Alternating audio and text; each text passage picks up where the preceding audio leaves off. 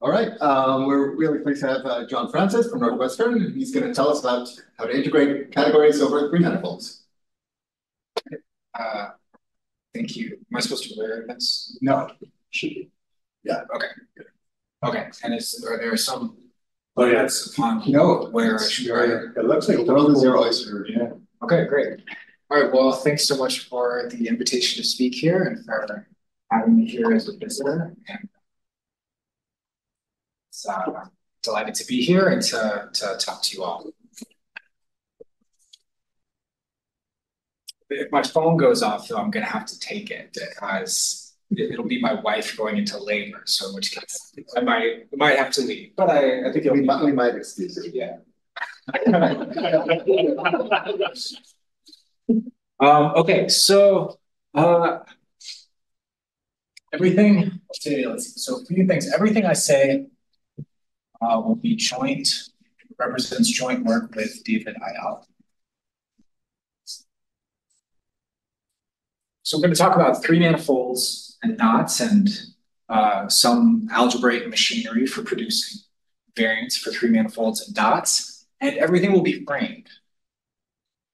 Um, but I'm, I made the uh, choice to not emphasize the framing.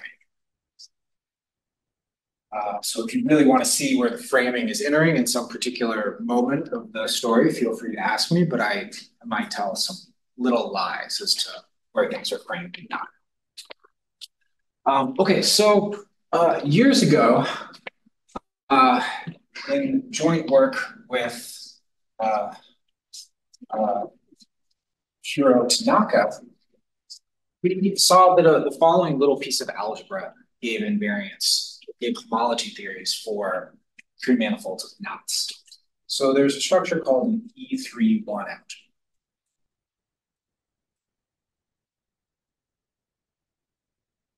Uh, which I'll write as a pair. And these things uh, give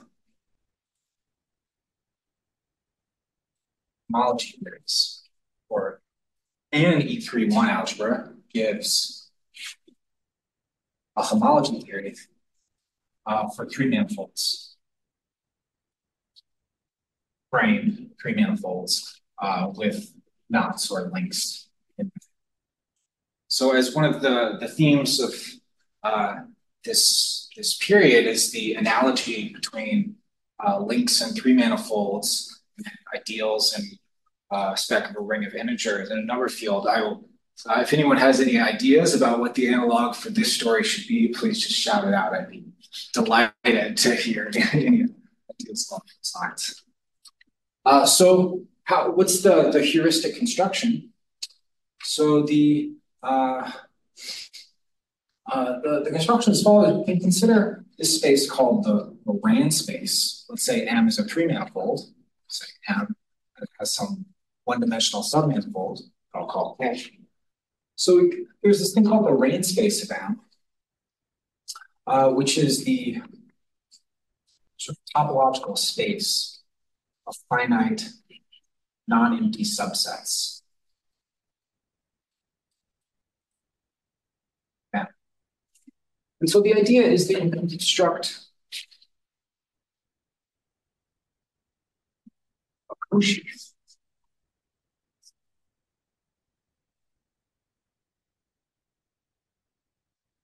on this space. So this space has been topologized so that points can collide. So it's some interesting space. It's not just a disjoint union of the configuration spaces. So it has some interesting topology on it. Um, so you can think of it as having uh, the strongest topology such that the maps, uh, say M, I, that takes an I tuple and records its image, that these maps are continuous. That's something.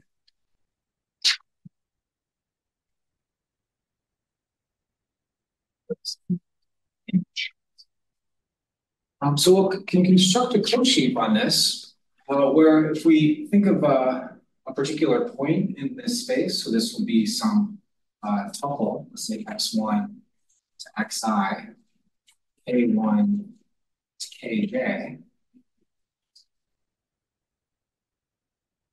where um, x uh, L is not equal to x L prime for L equal to L prime, and A R is not equal to A R prime for R prime, and these points uh, where the x uh, L are in are belong to M but not to K, and the K R belong to.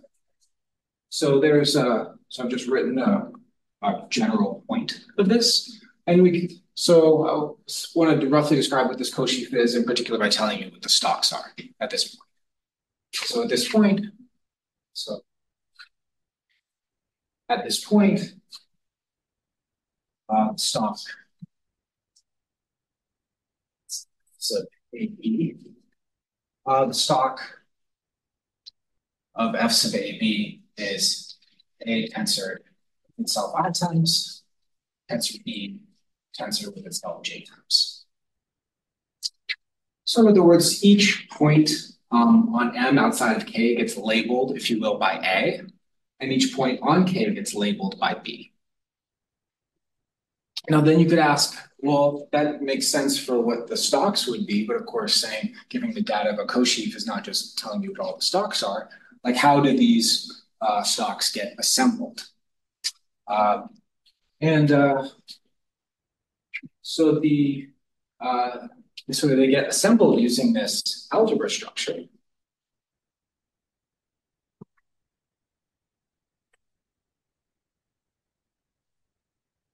So you could you could say um, first I'll say remind you what an E3-1 algebra is. So we could consider a category of three disks.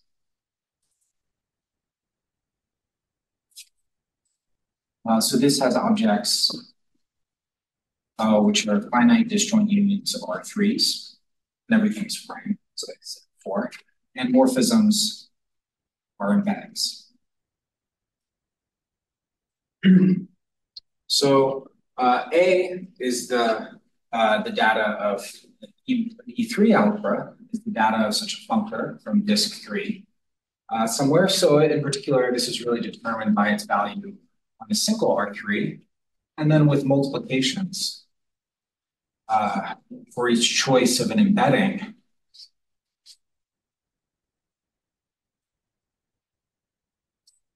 of two R3s into a single R3, so some phi embedding.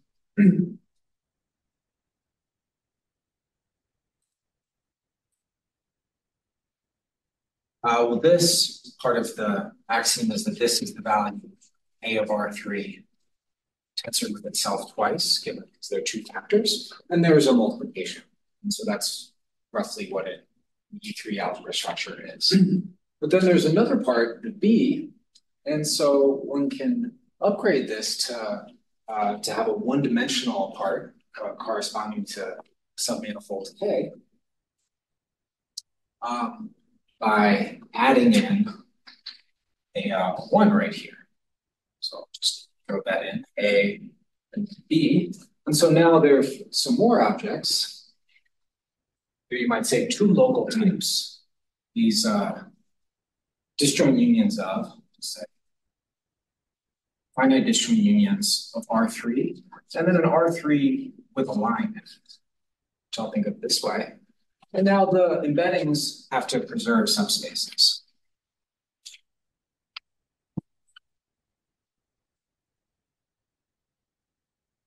And so the uh, the value b, where b is some algebra, is really the value on this space right here. And so this has the structure of one algebra.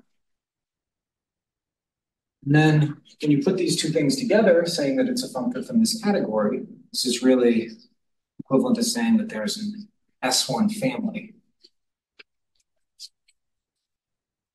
Central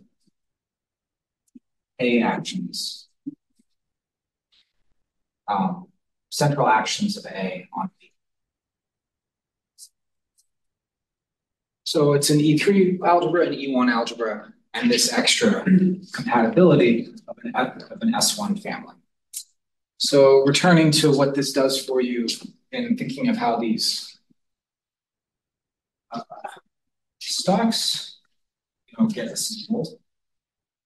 So let's say that our, um, you know, our pre-manifold looks like this, and we had some uh, submanifold look like that, and then chose some points.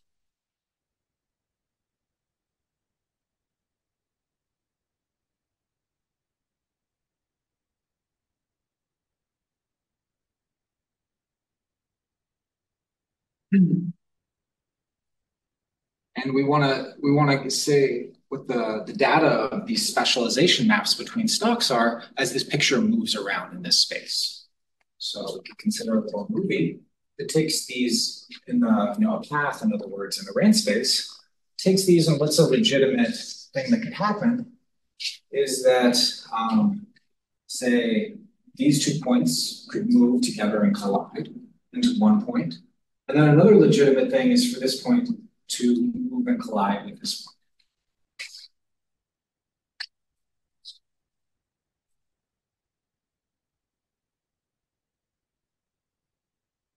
So the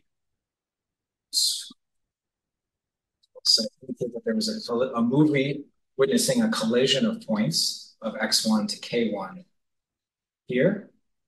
And then another we'll witnessing a collision of, of points uh, x2, x3 here. And now the, the stalk here is something different because now we had fewer points because of these collisions. You could ask how or um, how is, what is the map, the specialization map that relates this stalk to this? Well, so we should present in this case a map from A tensor 3 tensor with uh, B tensor 2, in this case to um, A tensor 2, uh, sorry, A tensor 1, is A, with B tensor 2. And so this factor right here, we'll split this up as a uh, uh, tensor B tensor A tensor 2.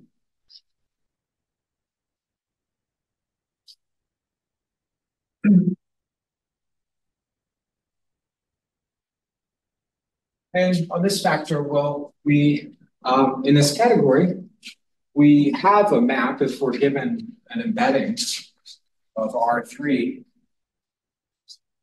R3 this line in it. So there's a, an embedding preserving subspaces like this into R3. A line in it, so here's my R3, and there's the um, line, say that I chose this embedding of this smaller R3.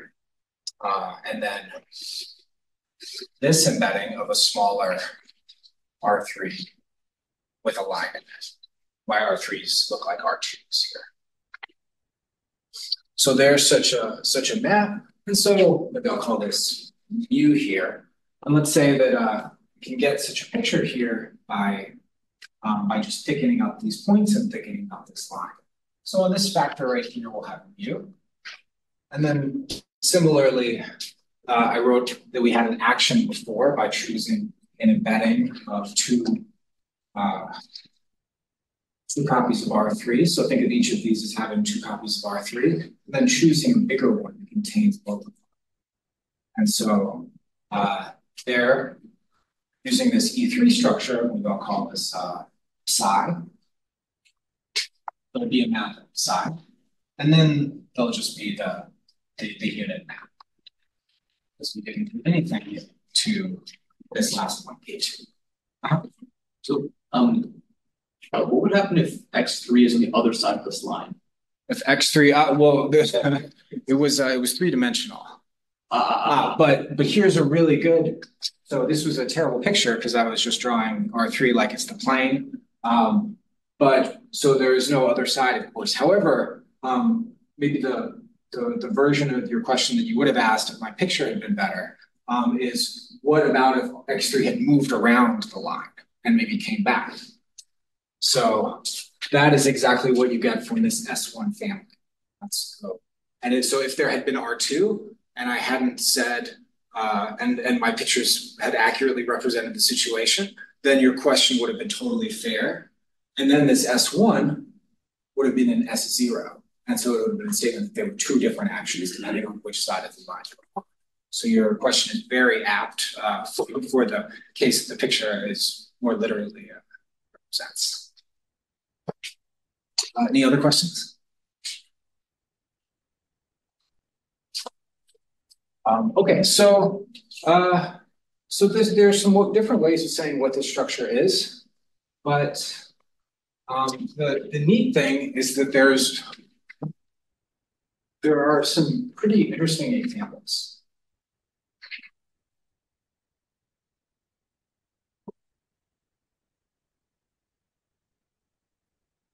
Oh, oh sorry. um, so I said there was a homology theory, and so I should say what that homology theory was. The homology theory then, uh, so what we call uh, factorization homology, you can then sort of of this three manifold with this knot in it um, is then the what you might say the homology of the ring space amount coefficients in the cosheaf. So that's one way of saying what this homology is. So, uh, so one of the neat things about this picture is that there's a uh, very interesting source of examples that I worked out uh, about a long time ago with uh, Ilan Costello and Owen Gwilliam. It's right there. So if you have any questions on this one, please. um, so if so, A uh, in this case is a deformation. There is an E3 deformation filtered, filtered E3 algebra of cochains on a semi-simple function. So of the algebra homology. And then if given V um, a uh, representation, uh, dualizable representation,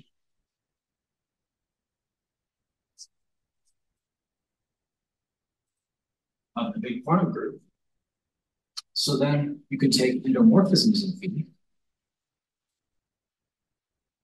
This pair forms Hmm.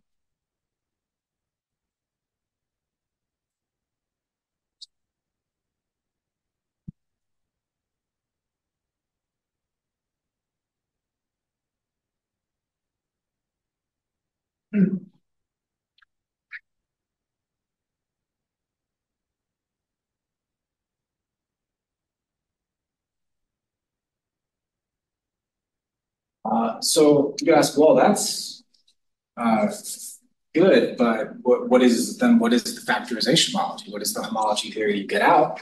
And so we described this uh, in the particular case where there's a, a, a, a, pretty good statement in the particular case uh, where your three manifold is just R3 and you've considered some uh, knot in it uh, that might, let's say that it's uh, R2 uh, times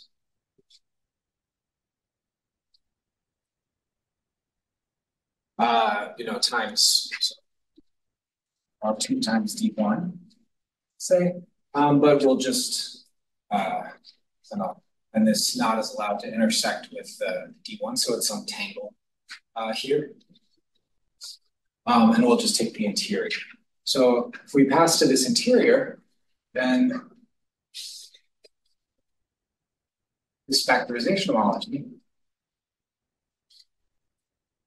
and V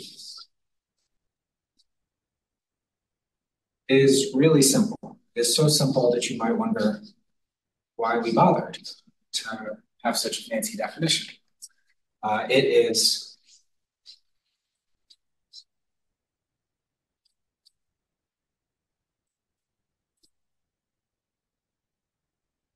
uh, equivalent to just from v tensored with itself a bunch of times, counted by the, say, ingoing uh, components, and v tensored by itself, counted by the number of outgoing components, uh, where this is signed. So if um, so there's a framing on these things, and if there's uh, all these points are plus or minus, so I mean, if it's a minus, take the so, uh, so that's a pretty simple object. For instance, V itself could have been just the unit, uh, in which case this is, you know, just the ground field. Um, or V could have been simple, uh, in which case endomorphisms is, you know, seated. So again, this is the ground field. Uh, so you produce something extremely simple. So you, like I said, you might ask, well, why go to all this trouble of uh, of calculating something extremely simple and by such complicated means. Um, but the, the, the key thing is that this has a really interesting element. I'll call one, uh, essentially because these are these algebras are unital, and so this comes from the unit.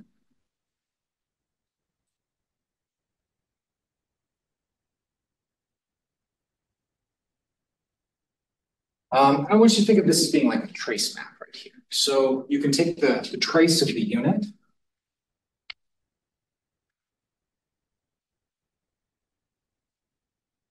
And then that gives you an element here. You could ask, well, what's that element?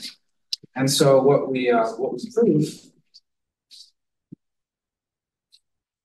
is that this is the um, the Witten Reshetikhin uh, invariant uh, of the theory be evaluated on. So Reshetikhin and Turaev sort of inspired by Witten's, uh, Chern-Simons Jones polynomial work, figured out how to take a, a dualizable object in a braided category and produce an invariant of knots and links. And that's what, uh, by cutting up, and that's what we, that's the invariant that we produce there. So we, uh, that paper, we did that an awful long time ago, and the paper is almost done. so, so that, um, so that's the story that uh, we did, and that I, I really like. You know, I got really excited about this when I thought about it. But there's some limitations to this. So one of the limitations was that this was necessarily a formal parameter, right there. So you might ask, what about roots of unity? Uh, what about the more sort of, you know, more general theory of quantum, groups. And um, so the N over there is over the C or uh, it's the endomorphisms in the category of representations. Okay. So yeah, no, it's it's end in rep uh, U H bar G. So if B is simple, then this will just be trivial. It, uh, well, it'll be C. It will be C. And, and what is the S1 family? Ah, so that um, it's not. I, I wouldn't say that it's obvious that there is such an S1 family. So that was one of the things that we had to prove. Yeah. So it's a, it's a good question. I'm afraid it's too good a question for right now. Uh, any other questions? Hopefully less good ones. Why did H bar have to be a formal parameter? Uh, so essentially it had to be a formal parameter um, in order uh,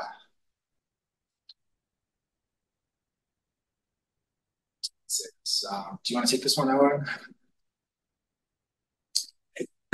Um, so I think John's heading towards trying to allow things not to be a formal parameter.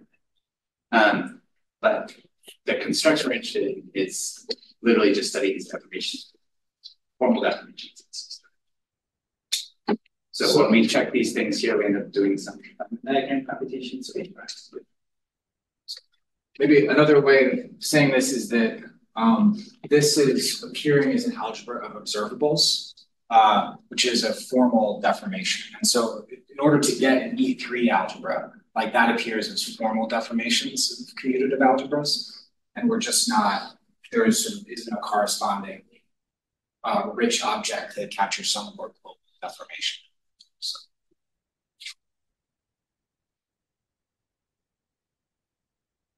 Just if you take finite dimensional representations of the quantum wave leader, it's not Right, there's there just isn't an E3 algebra such that filtered modules for that filtered E3 algebra is equivalent to representations.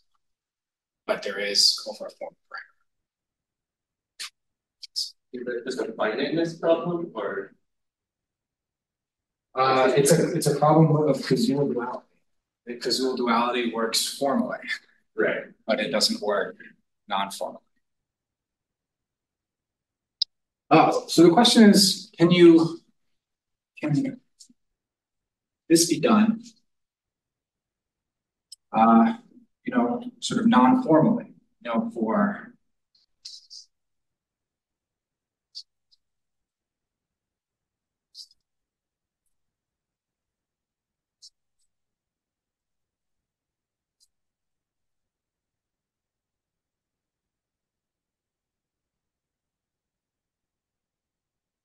not over a formal parameter. So that's that's what our story is about. So now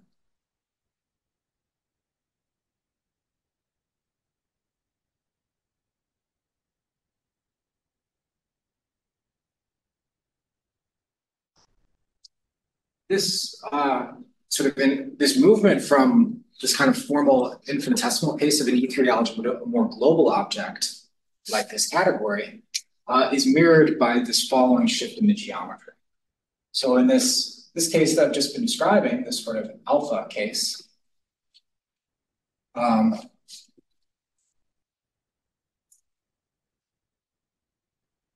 so here we have a moduli space of points.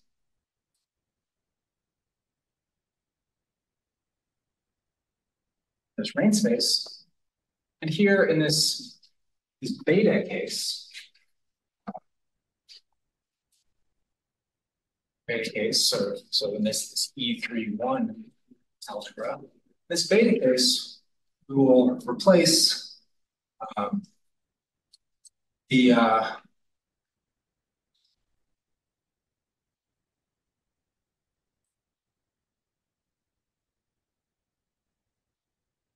the E3 algebra by a rigid braided category together with the choice of object. And here we replace this moduli space of points, moduli space of graphs.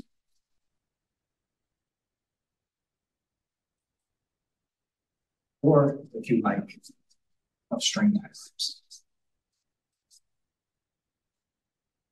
Or maybe even better, of Feynman diagrams. But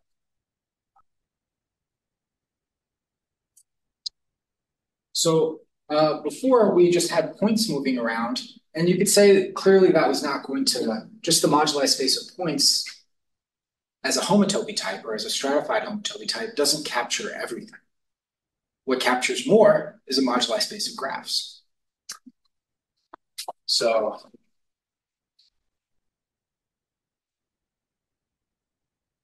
let me tell you the uh, brief here.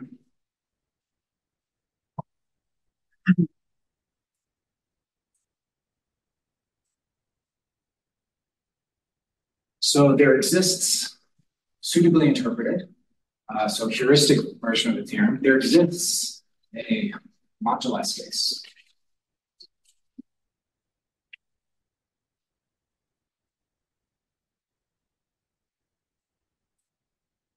And, uh, and for,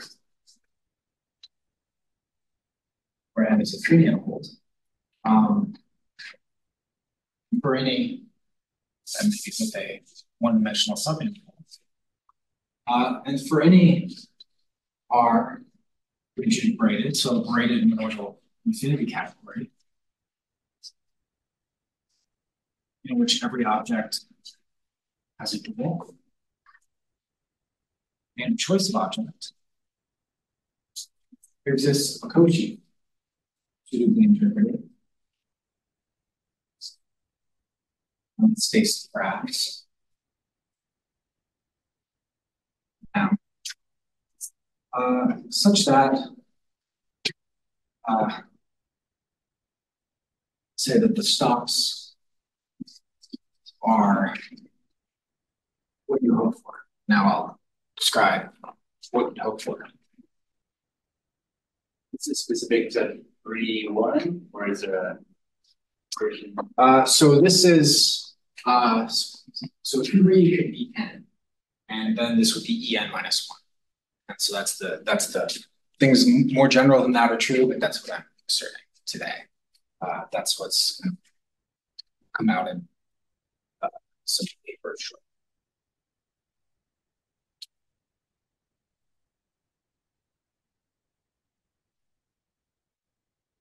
Uh, so say here again is my uh, lackluster picture of a three manifold. So inside of here, uh,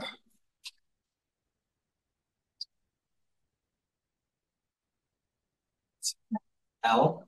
And so the uh, a, a picture that we're going to have, so these graphs will, will require that the graph refines L. So L is a subspace of the graph. So, so here's a particular gamma graph uh, and K L over K.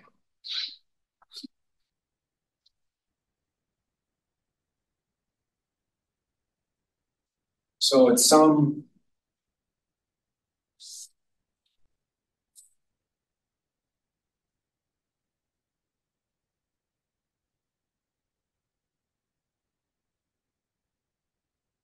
So there, there is a, a point in this graph uh, space, in the space of graphs. And now, uh, let me tell you how you're allowed to label it. Or so what, in other words, what the stalks stalks are. So for each one of these points, uh, this, so the points, the vertices,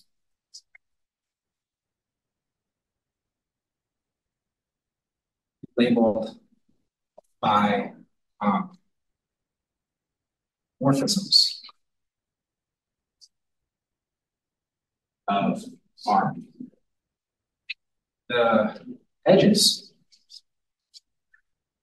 we labeled by objects. R. Um, and if the uh, edge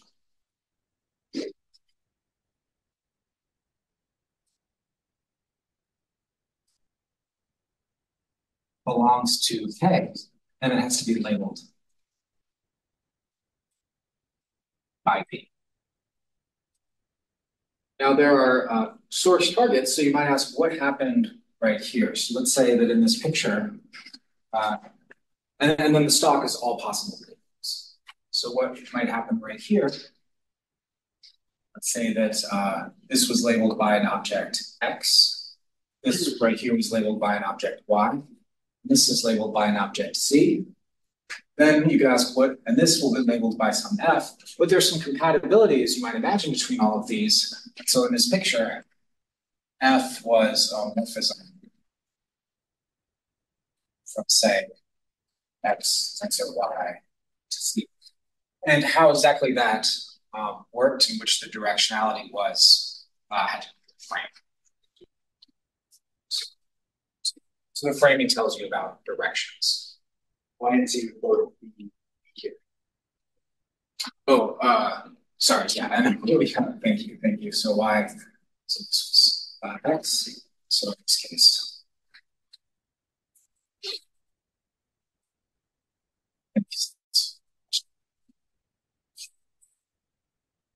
Okay, so here there'd be some Y, there would there'd be some Z, then there'd be some G, and so on. So the so the stalk, so the stalk of uh, let's call this uh, cosheaf F script R comma V. So the stalk of F R V at gamma is all uh, labelings.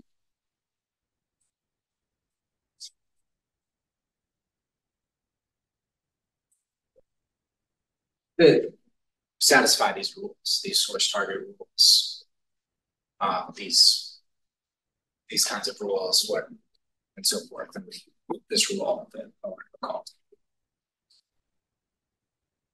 Right. Um, and then this gives once we have once you have this, then this gives the definition that the beta factorization multi, or just the factorization multi with this uh, more sort of enhanced version of it, this more complicated version of it.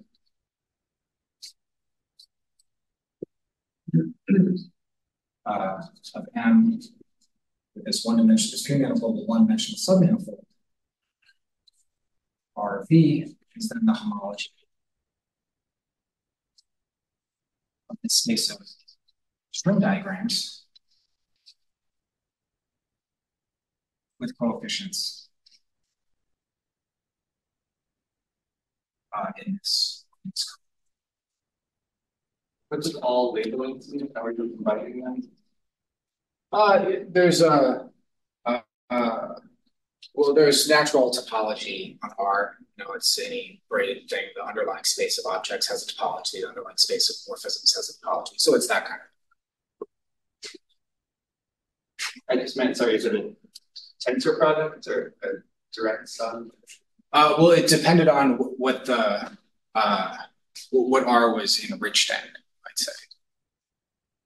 Um, but it's it's something that follows the same rule as that we had before. So like think of it as being a tensor product or whatever the one monoidal structure on what R is enriched in. John, is there a, a slick way to describe the topology on this, the way you did for the one space, or no? Uh, actually, Owen and I were just talking about that. Um, but uh, all right, but let's talk about it later. But yeah, there should be. Um, so just as the there's a tight relationship between the Weiss topology of Kevin and Owens and the topology of the Ran space, you know, I imagine that you could say something similar for this graph space.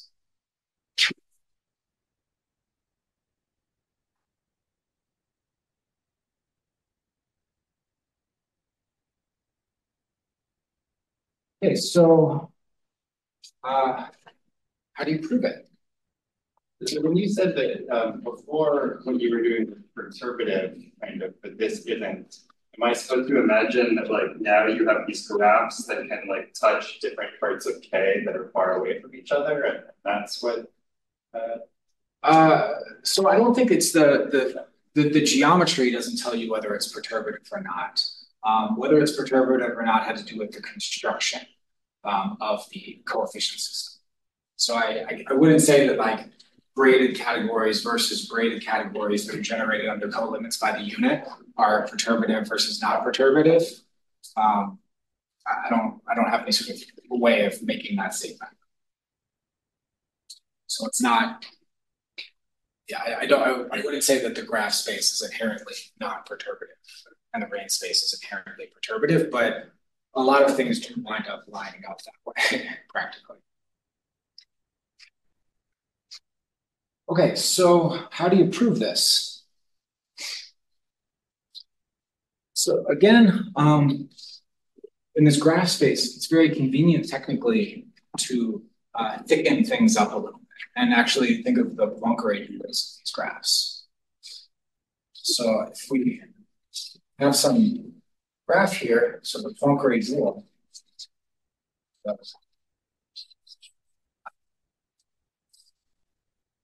this graph um, here, well, this will be some, uh, since this is Poincare duality in three dimensions, uh, think of this as being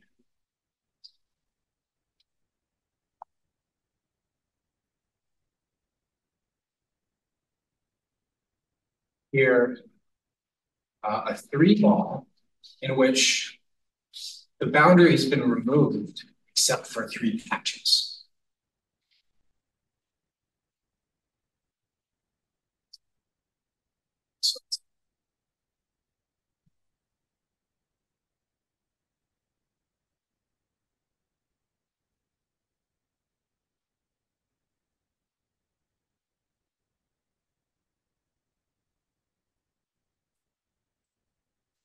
One of these are R twos.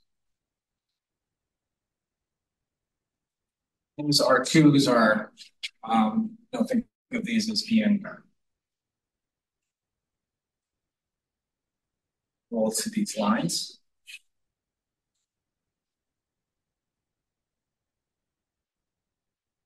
And then this R three as being the fall as being equal to this point. Uh, so one can instead view this moduli space as the sort of moduli space of Poincare data.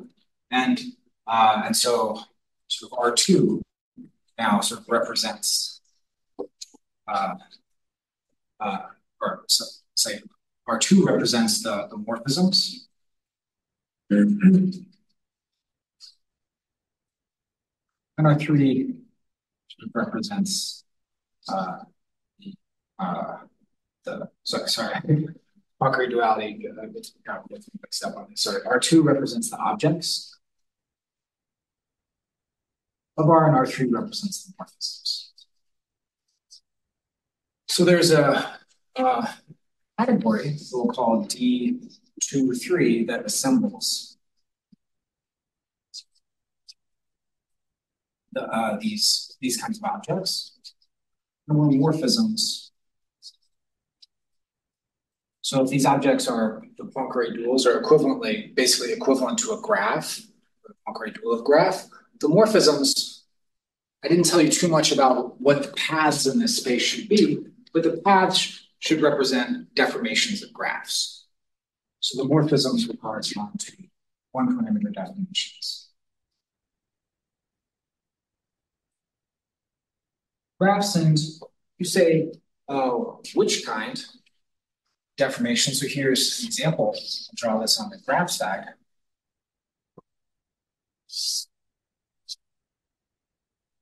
here's an example of a deformation.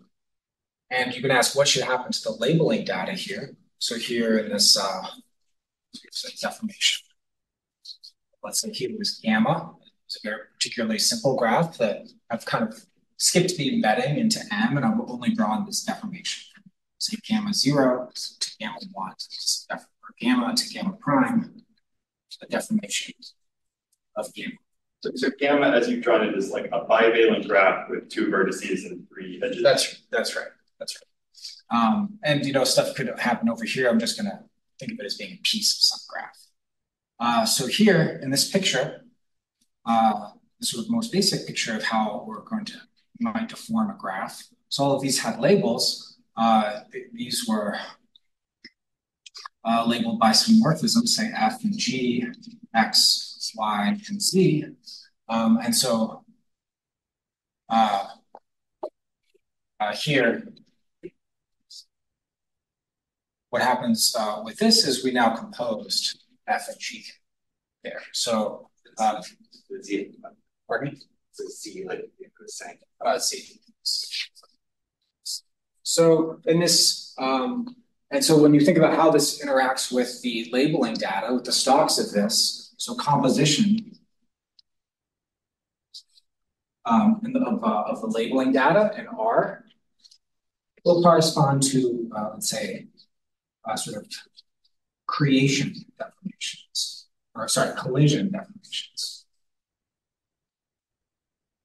So colliding, just like in our algebra case, when we took two points and we collided them and we asked what happened with the labeling data, it had do with multiplication in the algebra. So this is uh, where this is a, a, strict generalization of that as we collide strata, simple cases of, of strata, these graphs, we uh, compose the labeling. Okay, so what we, so the statement we need in order to, to produce this, to say that there exists this you know, well-behaved cosheaf is we need to produce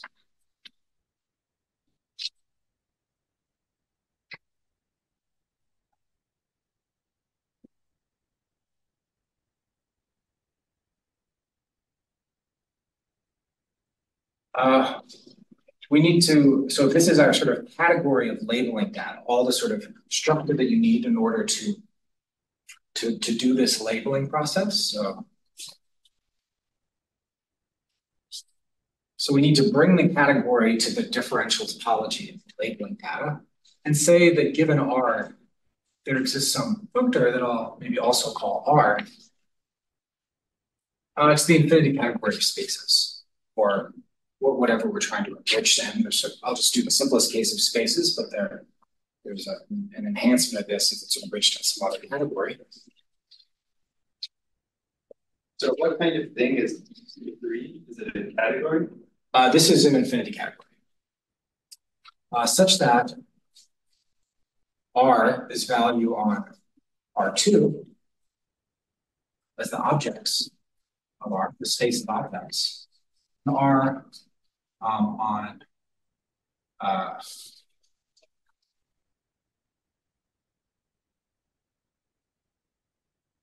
uh, say R on R2 times an interval are the, the morphisms. And similarly, you want to describe its the values on everything here, but in particular, that's this kind of structure. So there is there is a construction.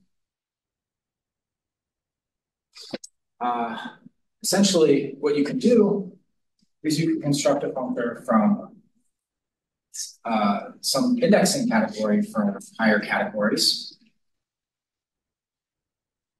that we call cellular realization.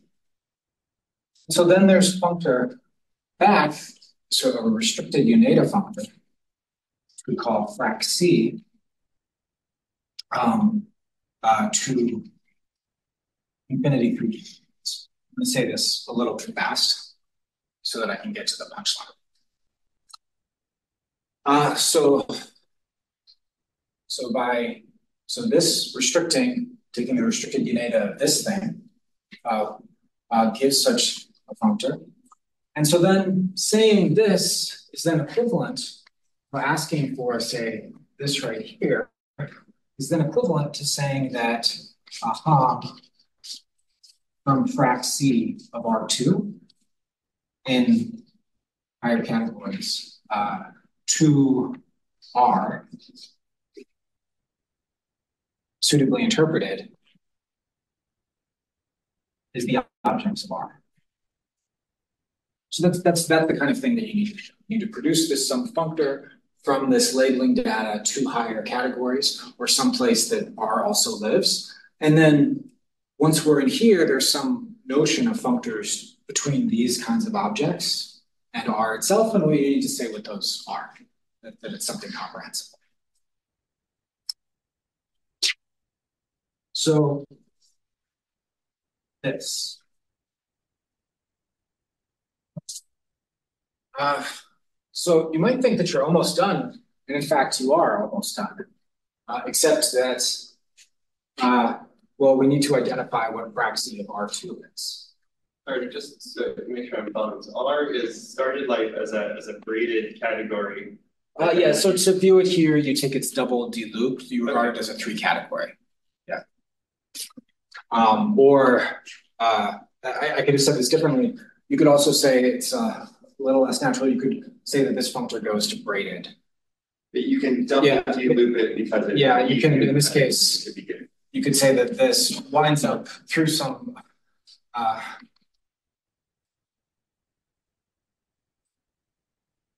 I should have said this, I should have said it this way. So from that functor, you can then do, do one more maneuver and say that frac C lands in braided categories, and this is of braided categories. And again, you want to say that that's the R. So here's the thing. Frac C, when you work out what, uh, what it comes out to according to these definitions and constructions, is the tangle pattern.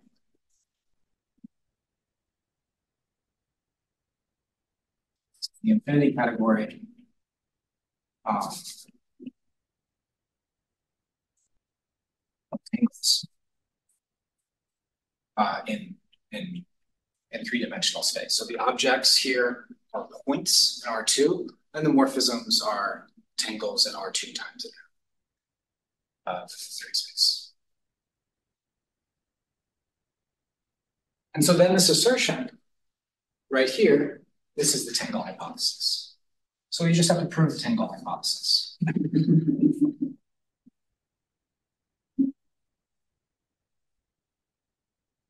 So saying that this labeling data works the way that you think it should is sort of just of proving the tangle hypothesis and then a version of the tangle hypothesis object in every other object in here, and then you're you're good to go.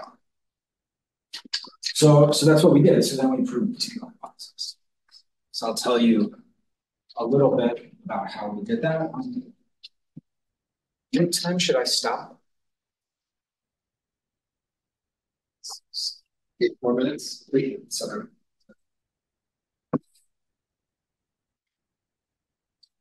Okay, so this this theorem, this uh, pre-theorem, um, more or less reduces to the, the tangle hypothesis.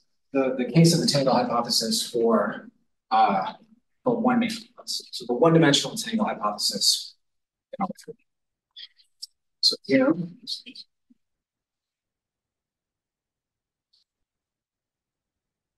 tangle hypothesis.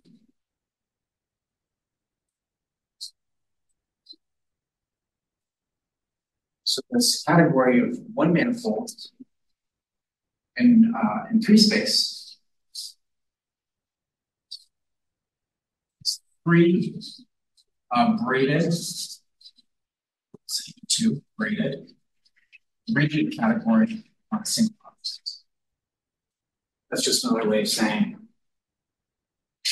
that's just exactly the same as saying that um, of uh, so this is the thing in universal properties maps out of it are just the same as saying where this point goes if the target is rigid and braided. Um, so this is just a restatement of uh, of the composite of these two things right here.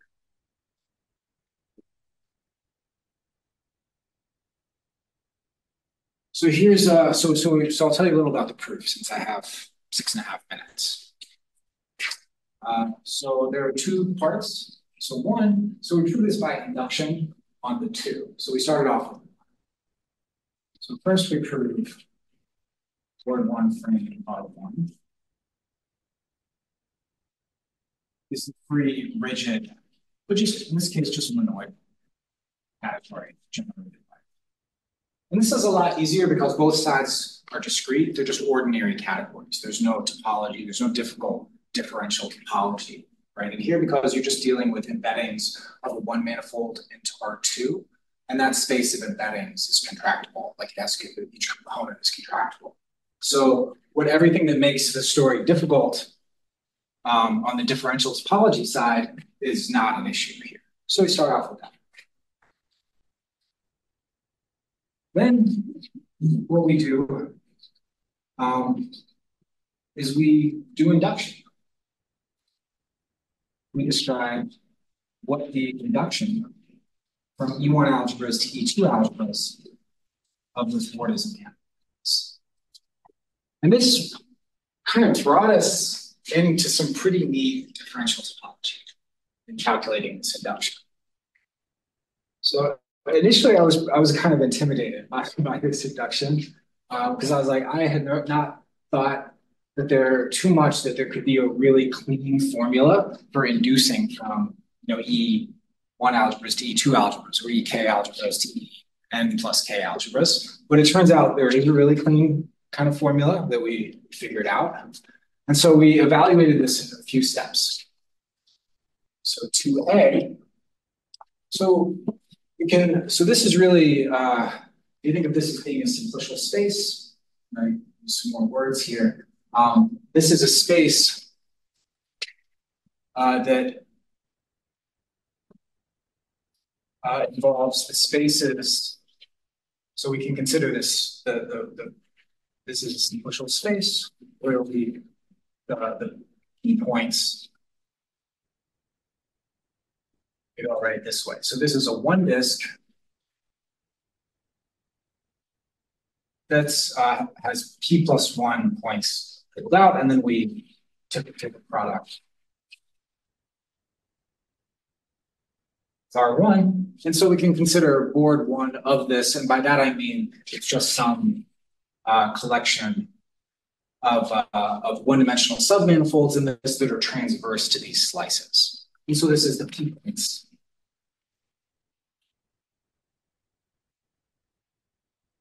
Bord one of frame So, but this is just a space now. So in other words, you can you can try to understand this induction just on p points at a time. And so this produces another simplicial space which is Bord one, I'll call Bord one framed uh, R2, slice-wise projective embedding. So this consists of uh, knots in R2 or tangles in R2, such that you can, in the second coordinate, slice it up into a bunch of pieces, such that each piece then projects to an embedding in R1. Okay, so that's one step. So then this thing, however, does not satisfy the Segal condition. Uh, it's very far from being an infinity category. It's just a simplicial space. And so then you can, uh, you can Segalify one framed R2 slice-wise projection embedding. So in general, Segalifying a simplicial space to get uh, a Segal space is um, is a pretty gnarly construction, but there's a construction that sometimes works, and in this case, it works. Uh, and when that construction sometimes works, it's a, it's a good thing. And so this works out to another really neat piece of geometry. So this produces uh, what, what we call um, the projection immersion. So it consists of links um, or knots in R3, uh, such that when you project it down to R2, it's an immersion. Um, but now there's a problem because we wanted the end of this to be just the usual Bordism category, and instead we produced this projection immersion Bordism category. So then uh, that leaves the last part, which, so there's this functor of Segal spaces. So this, this thing right here, the projection immersion, um, is, is not an infinity category. It's not univalent complete. So there's uh, a, a natural transformation of Segal spaces, and this is an equivalence.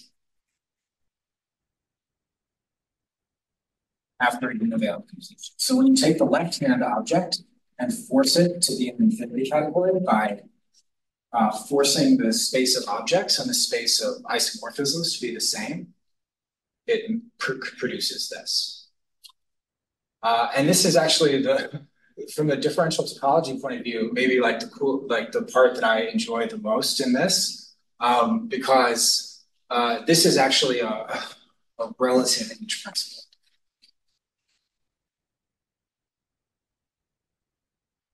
So we sort of have to go into um, Gromov's proof of the H principle, uh, to which works for immersions, um, to actually imply to something called embedding embedding immersions. And so if you like go into the proof and fiddle around with it, you see that the proof just works exactly the same, uh, and that there's a relative form of the H principle. And that relative H principle applies here to say that these things uh, um, to say that the mapping spaces here are actually homotopy equivalent to the mapping spaces here. Uh, that's, that's, thank you all very much.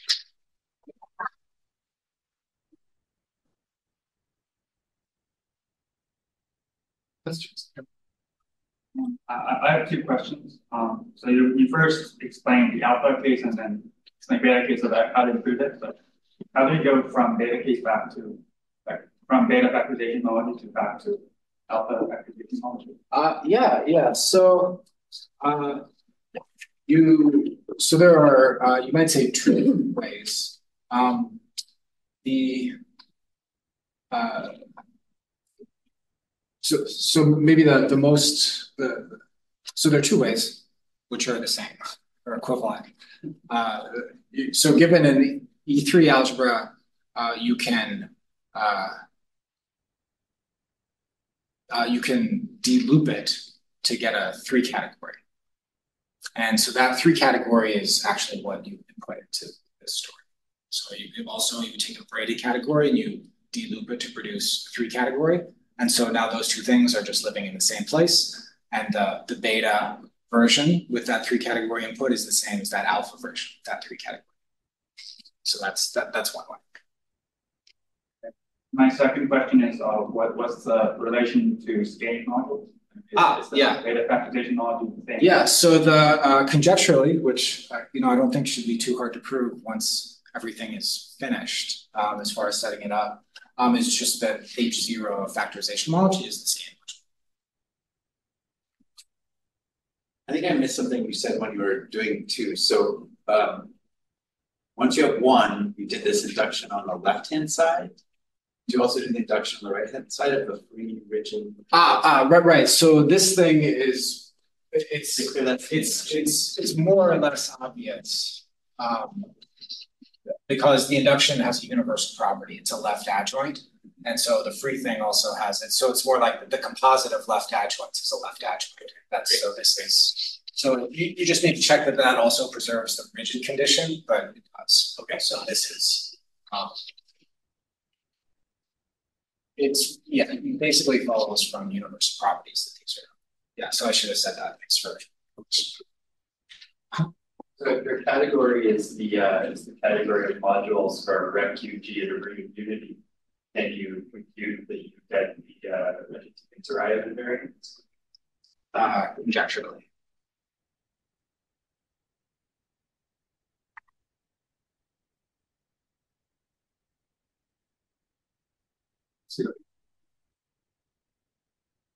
Also true.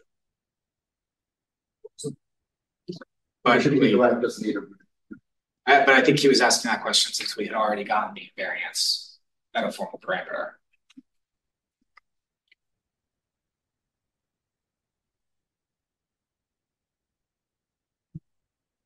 No more questions. Thank John again for his time.